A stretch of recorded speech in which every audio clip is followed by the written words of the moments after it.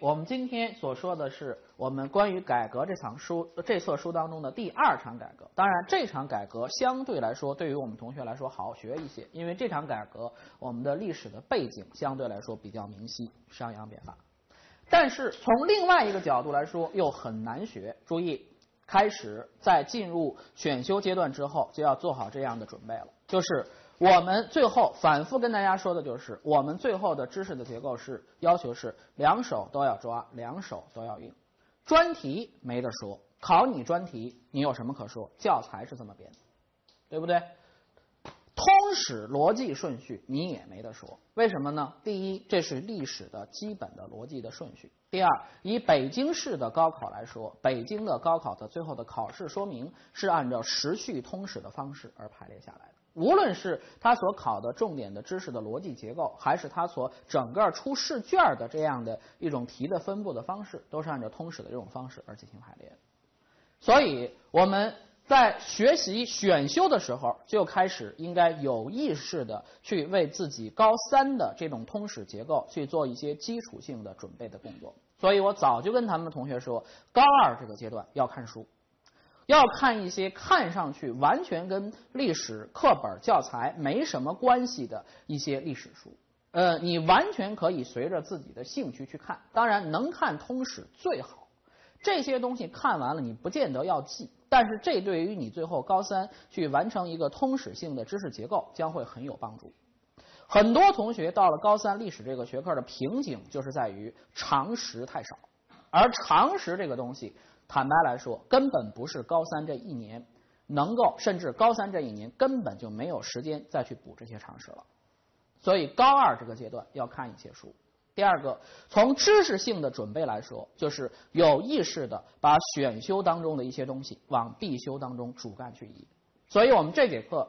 虽然是要讲商鞅变法，但是不能从商鞅变法开始讲起，我们要从整个这一个历史时间段的剧烈的特征来开始讲起，这就是重点，完全符合我们所说的必修当中、选修当中重点的标准，就是选修知识能融入到必修的知识主干之中。在我们的必修之中，回忆他夏商西周说的相对来说比较细。中国早期三大政治制度：王位世袭制、宗法制、分封制。必修当中说的比较细吧，对不对？然后再往下，到了秦汉说的也比较细。秦建立专制主义中央集权制度，汉加强是这一系列加强的第一个非常突出的这种加强者。秦汉在我们历史课本当中，无论是政治、经济、文化提到的都不少。春秋战国在我们的必修知识结构当中提的相对来说就比较少，而且更加要命的是提过一些，例如这种铁犁牛耕，例如先秦诸子，但是它没有形成整体结构。如何来理解？替大家补足，可以这么理解，就是三代夏商西周，可以将其理解为是整个中华文明的一个最开始的诞生的。这样的一个起始点，在此之前，中华文明它并没有产生自己的基本的这样的一种文明的形态。历经夏商西周，这其实是非常漫长的一段时间，甚至今天其实，在考古学上来说，这都还说不到说不了特别清楚呢。呃，非常漫长的这样的一段时间，它所建立的这样的一个相对来说稳定的一个社会的结构，到了春秋战国这个时代，顺带再说一个小的常识：春秋战国这个时代跟基本上，当然有一些具体的一些史非常微小的史学的差别，但是在我们现行教材当中，我个人认为可以先不管那么多了，基本可以在我们的现行教材当中将春秋战国与东周去等同。就是周的时间很长，前半截是西周，西周的特征是分封制、宗法制的运作还比较良好，中央还有比较强大的能力和实力去控制地方，而在东周时代则完全控制不住了。所以在东周时代，可以说这个周王室天子已经是名存而实亡。所以我们在对于这段历史的称谓，更多的是使用的是春秋战国的这样的一个历史的名词，因为这个历史名词能够非常典型的概括出这一个时间的一个特征。一看春秋战国就知道这个时候在干嘛，对不对？呃，基本上可以与它等同。为什么会出现这样剧烈的社会变迁？又要回到我们上一节课所说的，要既要去明晰政治、经济、文化，这是专题；又要打破专题之间的藩篱，去清晰政治、经济、文化之间的关系。我们上一个节课讲梭伦希腊的文化的背景是怎么讲的？再复习一下，它的逻辑是：因为它相对来说，尤其非常缺乏耕地和。大量的破碎的群岛的这样的一种地理环境，决定了它的基经济的基础是工商业。因为经济的基础是工商业，所以造成它在文化上来说倾向于多中心，倾向于到处乱跑。在政治上来说，则必然最后形成了相对来说比较尊重个体的这样的一种政治的制度。同理，在中国也是如此，它的。后它的这样的一种变迁的逻辑是，在长时间的这样的一种农耕的这样的一种社会之中，中国人诞生了自己的这样的关于农耕社会的一系列的这样的一种基本的这种需求。这种需求甚至可以说，在两三千年的一个漫长的历史时间段当中，中国的社会结构直到近代，也就是一八四零年之前，在最大的范围和最深的层次来说，没有发生过本质的变化。但是在夏商西周三代的时候，我们的土地尽管也是农耕，但是使用的是什么呢？跟必修二的知识有所重叠，使用的是一种公有制的井田制。必修二学过吧？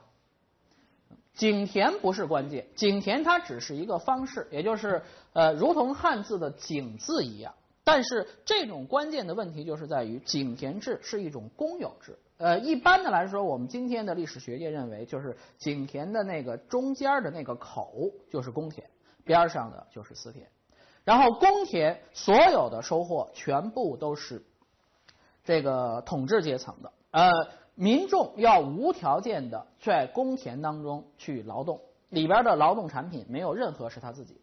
然后给予他的好处是什么呢？就是你耕作公田，然后边上的。一些私田你可以自己去种，那个收获是你的，这叫做井田制。而这种井田制的这种制度，到了春秋战国时代，它已经完全无法再适应社会经济发展的新的需求。所以这个时期发生的一系列的剧烈的变迁，我们必须要知道，它是从经济的角度而开始的。这是我们中国历史课本当中对于马克思主义历史学观念的一个核心的名词，在我们整个高三，我们将会涉及到这一句话时，老师将会说无数次，叫做什么？叫做经济基础决定上层建筑。也就是，如果让你在一个复杂的历史变迁当中去选一个根本原因的话，几乎百分之百的在我们中国的历史逻辑当中，都喜欢从经济的角度来开始解释。变了，用《诗经》的话来说，“高岸为谷，深谷为陵”，变化非常剧烈。为什么出现这样的变化？第一逻辑层次，经济。为什么经济出现这样剧烈的变化？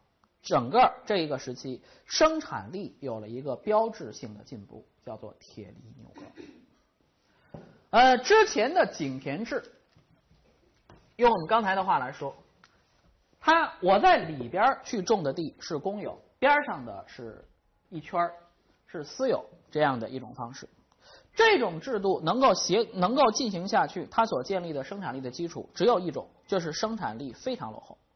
落后到什么程度？落后到他自己虽然有自己的这样的一块田，但是在这一块田当中，他所能够获得的这样的一种收入是极少的。为什么？因为生产力落后。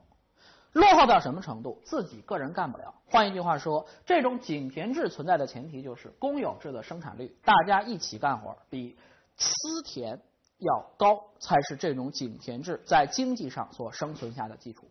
这个道理很好懂吧？对不对？就是生产力太落后，我自己干干的少，然后这儿干的多，远远大于这儿，所以井田制在这种背景之下能够进行下去。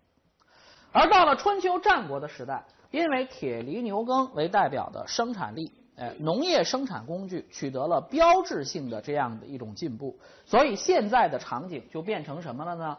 正好完全反过来了，就是在私田当中，我自己种自己这一块地，哎，生产力进步了，有牛去替我耕地，有铁制的农具能够把我以前看上去非常繁琐的一些农业的生产劳动，现在变得要简单的多，工具进步了。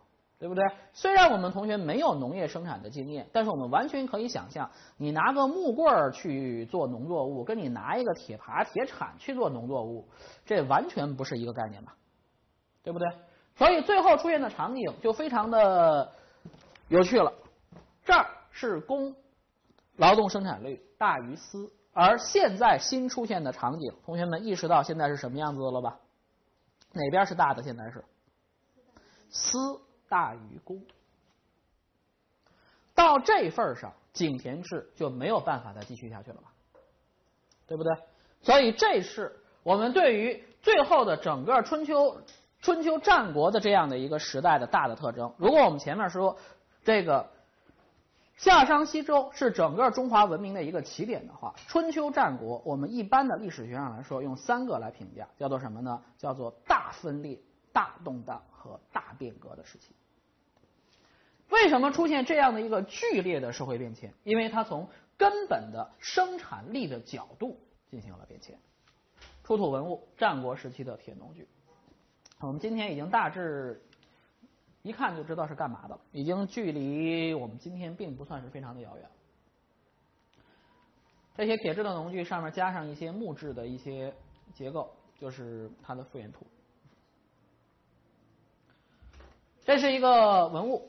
叫做青铜牛尊，嗯，其实是一个酒器，嗯，呃，而这个以牛为形状的这样的一种酒器的牛的鼻子上套了一个圆环，这也就是，呃，这个圆环是干什么的呢？就是前面牵一个绳子就可以去操纵这个牛的这种前进的方向，所以这个文物非常典型的可以用来说明，就是已经在使用牛，而且已经在使用牛去进行让它控制它去进行这样的一种农业生产。井田制难以维持，为什么？用这个简单的示意图来说，就是私大于公。很多地方出现了，这叫做公田不治。很多地方出现了，用《诗经》当中的有一句话来翻译成现代白话来说，就是出现了这种，呃，令很多人是看上去非常非常的郁闷的场景，就是公田之中野草丛生，私田之中郁郁葱葱。我为什么要去努力去工干工田呢？完全没有必要啊！因为我干工田当中所有的收获没有是我的呀，对不对？所以我干工田很简单，用我们今天的白话来说，就是我直接应付事儿，对付一下完事儿了。哎，私田好好干，百分之百的，呃，理论上来说，百分之百的这种收获是我的。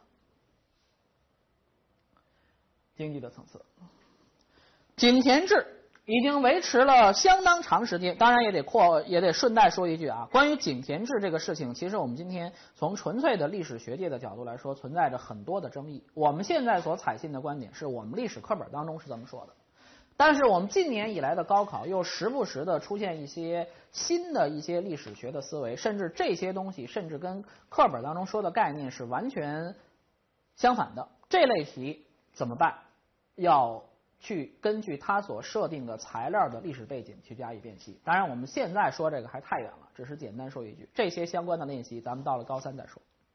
按我们课本的逻辑，铁犁牛耕之下，井田制已经不适应发展，所以井田制它出现的问题将会导致一系列密集的连锁反应。井田制不再适应时代的发展，那就意味着在经济基础的崩塌之下。旧有的井田制经济基础所支撑的宗法制和分封制的上层建筑也出现了问题，由经济基础延伸到了社会的政治层面。分封制和宗法制也过时了。分封制为什么？因为以前分封的土地，它就是以井田制为核心主干的这样的一种方式去运作的，所以井田制不行，分封制不行。分封制跟宗法制又是什么关系呢？我们在必修一当中说过，分封制与宗法制叫做互为表里。那现在一个出了问题，另外一个也出了问题。就是这个时代为什么我们这个标题用的就是剧烈变迁？打一个比喻来说，就是以铁犁牛耕经济领域的变迁为起点，出现了一系列多米诺骨牌式的推倒连锁反应。井田制、分封制、宗法制，中央集权衰微。哎，以前中央的权力比较大，因为公田是整个社会劳动生产率、生产力最高的这样的一个部分，公田的是属于公家的，然后一层一层要往上交，公侯。伯子男一层一层的，你要往上去进行那个这个去交，所以以前中央能够控控制比较大的财力，而现在公田杂草丛生，那就意味着你中央的财力和实力也会出现严重的这样的一种问题。这是在《论语》当中的这样的一个记载。这个东西其实用我们今天话说的非常非常的简单，翻译成现代白话来说，就是什么呢？就是有八八六十四个舞女，就是八一排。呃，一起去跳舞，是可忍，孰不可忍也。这句话的翻译成现代白话的意思，不是说这可以忍，而是说这如果都能忍的话，就没有不能忍的了。所以这个其实就是孔夫子说，这到极致了，底线不能再忍了。呃，为什么看着六十四个舞女跳舞不能再忍了呢？呃，绝对不是被六十四个美眉给晃眼晕了，呃，甚至根本就不是跳舞的问题。因为按照严格的西这个西周的这样的一个周礼，它一系列的要用各种各样的方式分封制、宗法制，它是有一系列的这种等级的，而这种等级观念是渗透到生活的方方面面。呃，政治上的、经济上的特权就不用说了，还甚至在生活上面呢，例如你用几个舞女，例如你出门。有多少从人，甚至你在家吃饭有几盘菜，这都不是说根据你的富裕的程度去进行变迁的。假设你很有钱，但你社会地位不够的话，你是不能够用高出你的等级的这样的一种生活方式的。超出了是什么？用中国古代的这个词来说，这叫做什么？叫做僭越。所以建立在这个背景之下，你才知道孔夫子说的这个话是什么意思。因为按照周礼，这种八列舞女的礼乐是只有天子才能够享用的。天子之下是诸侯，诸侯之下是卿大夫。而现在为什么说是可忍，孰不可忍？因为孔夫子所看到的这八列舞女是在鲁国的大夫的季氏家而看到的。换一句话说，就是。第三等级在使用第一等级的这样的一种方式，孔夫子说这事儿不能再忍了。知道他不能忍的是什么了吧？不是舞女的问题，而是这种它代表着整个的在孔子看来，整个的以前按照周礼而严格划分的这样的一种宗法制的等级社会，已经在内部出现了。极为严重的崩裂，甚至可以形容为是崩塌掉了，所以不能忍。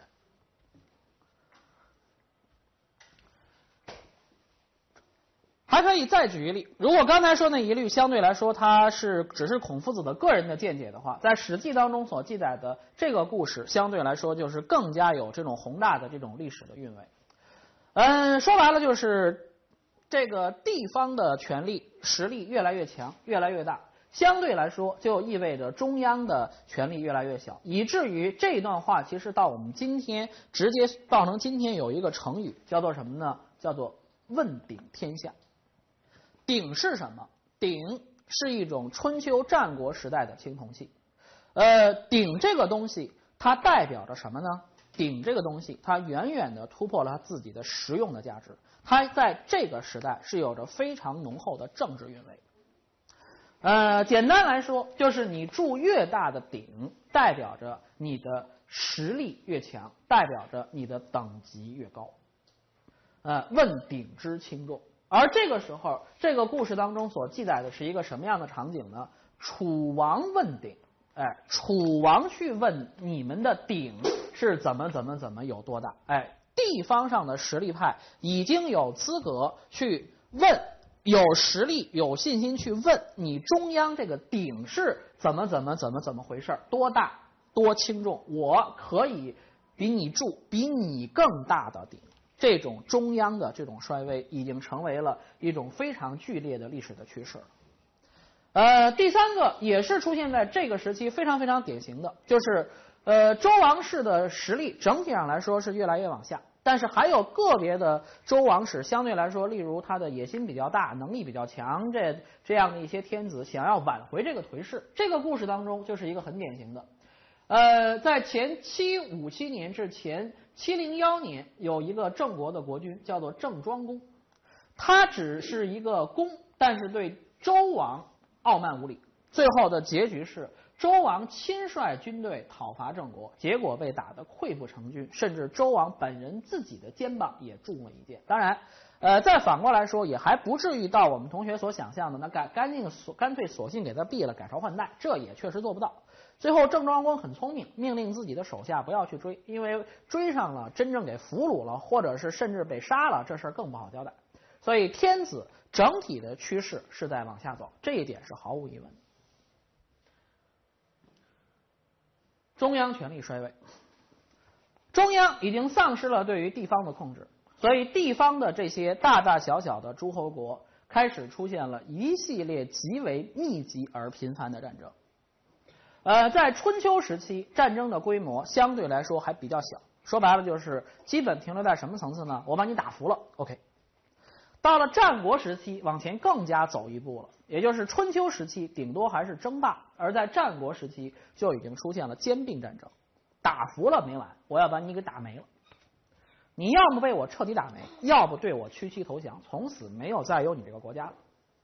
哎，兼并战争。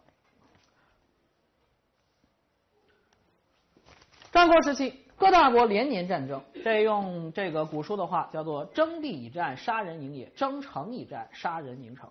当然，这个我们今天纯军事学的这种角度来说，我们在我们的课本体系当中提到的不太多了。但是，我们作为一个小小的常识知识补充，也可以跟大家来说一句：在春秋时代，一般的来说，很大的标志性的战役，几万人打起来是什么呢？基本上就是双方 A 这边站一边，B 这边站一边，然后一冲锋，冲完了，完了。所以，春秋战国的时代，春秋时代的战争，绝大部分战争顶到天儿两三天也就打完了。而在战国的时代，战争有多大？呃，例如最后战国时代实际上是最后平定天下最关键的一一场叫做秦赵长平之战。史书记载，当然最后的结局是秦胜，赵败的非常惨。降卒就是多少人呢？降卒被坑杀的就是三十万人。按一个初步的推断，就是这一战秦赵双方。加起来的总兵力可能已经是多达数十万乃至于近百万人之多，而战争的时间也是越打越长，啊，经常一下子打几个月，甚至陆陆续续延绵发展到数年的这种战争，在战国时期也已经是相对来说较为频繁的这样的一种出现了。这些文物也是战国时期来表达这样的一种社会。战争频繁这样的一种社会背景的这种典型的文物，这是战国的著名的一个文物，叫做赏宫偃月铜壶。铜壶上饰以了非常丰富的这种水陆攻战的这样的一种纹饰。这是战国战车的一个复原的模模型。